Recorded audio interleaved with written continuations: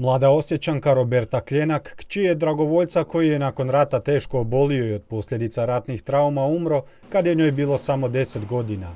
Ovo ukoričeno dijelo na koncu je i posvetila ocu kako sam imala tatu koji je bio hrvatski dragovoljac, a koji je znači zbog ranjavanja dobio karcinom kao posljedica. E, odrastala sam bez njega i znala sam znači kako je to i na svojoj koži sam osjetila gubitak i htjela sam da i druga djeca ispričaju svoju priču pa su ispričali kako djeca tako i onih koji su znači poginuli, nestali i počinili suicid kasnije i suicid je isto jedna tema koju se isto tako treba posvetiti.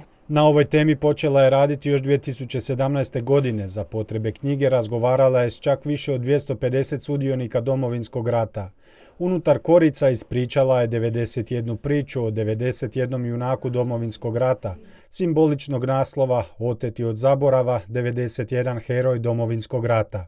Odabrala sam ove heroje zato što su znači oni bili nekako najviše, najviše su bili srčani pred kamerom kad sam ih snimala i njihove su priče bile najživotopisnije i znači išla sam na preporuku, svakoga je netko preporučio, znači ljudi su garantirali jedni za druge da netko nije nešto nadodao, izmislio, proširio, uljepšao i slično.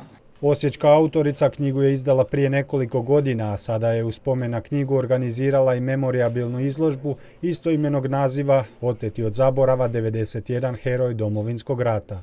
Znači je projekt održiv i svake godine se radi na tome da se naši heroji nikada ne, ne zaborave. Znači nije samo knjiga izdana pa da je spremljena negdje u ladicu, nego se svake godine znači, radi na promociji 91 heroja i heroine iz knjige.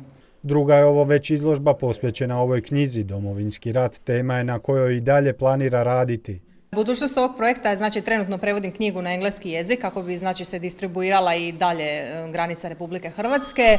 Svake godine radim istraživanje u školama i na fakultetima kako bi znači dokazala i e, prikazala javnosti da naši učenici i studenti žele čitati o herojima Domovinskog rata, ali ih znači na neki način politika koči i vrijeme je da se znači e, ova knjiga i ovakvo gradivo stavi u škole i u lektire. Svakako važno napomenuti da je to dio koji treba ući obrazovni ciklus i Osječko-baranjske županije, ali naravno i svih škola na području Republike Hrvatske. Želimo da se nikad ne zaboravi ono što se dogodilo 90. godina, jer domovinski rat je temelj stvaranja slobodne i neovisne Republike Hrvatske. Naravno, vrijedi ono staro pravilo, ono što se ne napiše kao da nije ni postojalo, kao da ga nije ni bilo.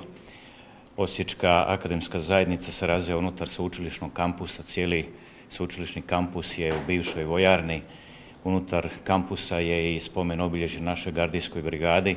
Ono što je vrlo bitno da mlade ljude, za naraštaj koji dolaze, treba upoznati što je domovinski rat, koji su to ljudi koji su zaslužni, zašto i danas tamo učilište u Osijeku, zašto se razvijamo, što bi bilo da njih nije bilo. Roberta će, kako kaže, i dalje svakodnevno raditi na ovoj temi, a sve s jednim ciljem da se naši heroji otmu zaboravu.